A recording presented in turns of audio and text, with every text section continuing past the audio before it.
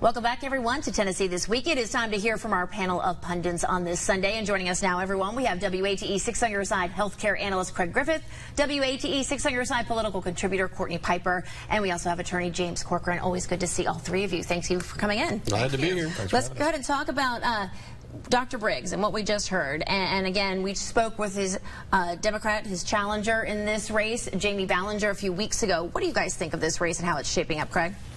Well, I don't see what the issue is his opponent is going to bring up that he hasn't championed already. So I think it's a very solid Republican district. I think that he'll carry it fairly easily.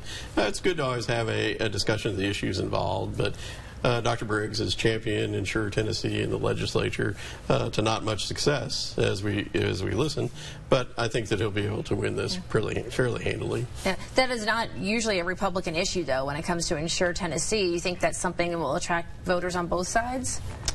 Well, healthcare is is pulling out to be one of the strongest issues in, in with the electorate this year. And I, I found it somewhat unusual that uh, Senate Majority Leader McConnell, in a, in a Reuters interview, said that they're going to take up repealing Obamacare again in the next session.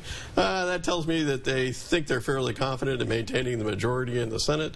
Otherwise, they wouldn't be bringing up such a contentious issue right here when people have already started to go to the polls and early voting. Courtney, what do you think of this race?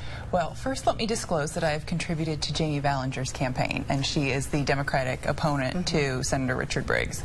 Um, but what I've heard from Senator Briggs, he spent a lot of time talking about health care, and while I can appreciate what he has done in the Tennessee General Assembly, and I've talked about this many times on the show, he's really had an opportunity to, to lead and lead his own party and lead the Tennessee General Assembly, and I think that he's failed to do that. So, in my opinion, as we're looking at health care as really the number one issue in our state, state, you know, it's time for some fresh leadership and a new perspective to see if we can really get something done on health care. Richard Briggs has really, he's tried, um, but it's not enough. It's not enough for the most, uh, more than 290,000 Tennesseans that are without health care. James? Well, I just, the idea that a freshman legislator would be in the opportunity to provide the leadership that Briggs has. Briggs is on the right committees. So if health care is your issue, he's in a position to make a difference. And the question is, but is there going to be enough votes? Yet. Well, he can't change the votes of every single other sure member of the legislature. That is part of being in the legislative body is being able to get votes from your colleagues.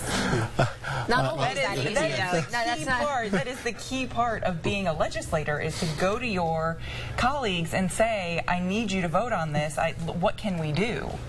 Well, and, and, I think he's tried to do that, but it, it's it, with the overwhelming majorities that the conservative Republicans have, it just wasn't going to pass. But listen, the majority, the vast majority of Tennesseans want this kind of Medicaid expansion, and for us to be unable to do it points to leadership in the Tennessee General Assembly. Points to those people that wanted to elect leaders that will vote for it, and they have not elected leaders that will vote for it.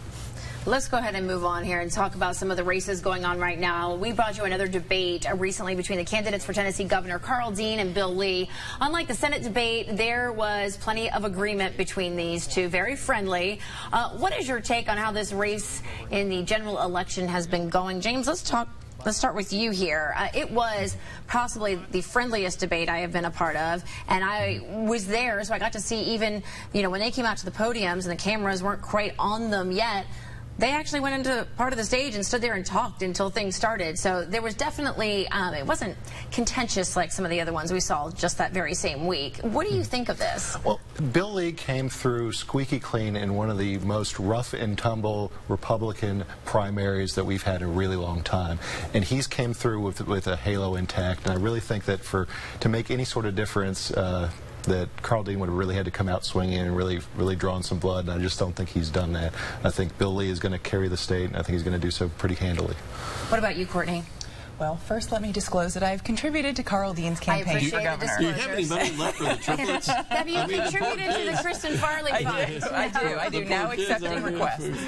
Um, what I thought of the debate, you know, I looked at that debate, and we all have gone through the one of the first televised debates with Nixon and Kennedy, where we all learned that sometimes uh, style can trump substance. And I think in this particular debate, Karl Dean seemed a lot more personable. He seemed a lot more warm to his audience where Bill Lee just seemed almost like a robot at times, like he couldn't get off of his talking points.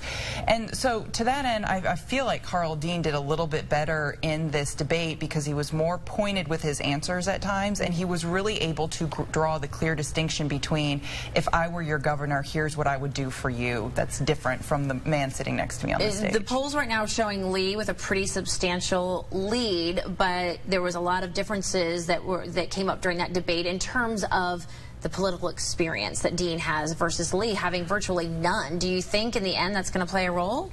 I, I don't know. That's always a toss-up. You can have a lot of really motivated voters that look at no ex political experience and go, well, yes, that's why I want him running state government.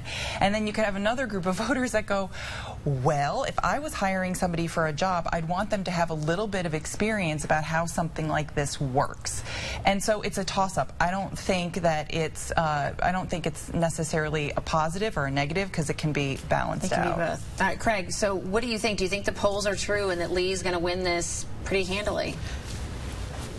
Political gravity is setting in in this race, just as it is probably in the Senate race. Uh, Tennessee went uh, two out of three voters for Trump, and they're going to go for the conservative Republican, the businessman, the same model that Trump had when he went into office. So I think it's fairly clear that Lee is leading in the uh, in the polls and probably will win on election day. Uh, Karl Dean has some, you know, he, he again we have this same issue between the Republicans and the Democrats that we've had in most offices expand you know, Medicare, expand TennCare, and it hasn't been an issue that the Democrats have been able to win with yet. So in the last three or four election cycles. So I don't, and, and part of it is that Bill Lee doesn't have a record.